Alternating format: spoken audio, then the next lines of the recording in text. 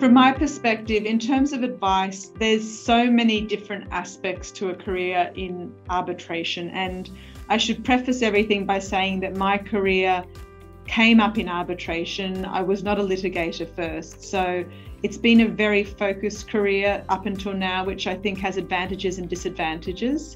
And one of the reasons I joined the HKIAC was to expand my skill set, to expand my resume, if you like, into an area that wasn't just private practice arbitration.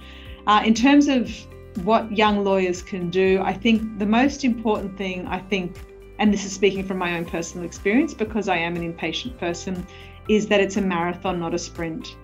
Um, even in private practice, there I had I was part of many conversations which was all about becoming an arbitrator, getting your first appointments, moving on to this illustrious career that being an arbitrator most certainly is.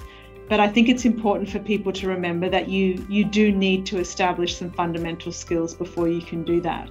You don't want to go into arbitration as an arbitrator too early and not have the skills to do the job well because as everyone always says that you never get a second chance to make a good first impression.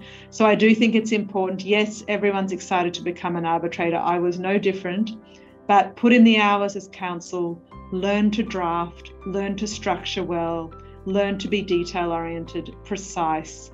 Do the do the groundwork seek advice seek your seek out mentors mentors for yourself people who will help you, people who will champion your career, and everything else will flow from that. You just need to be patient.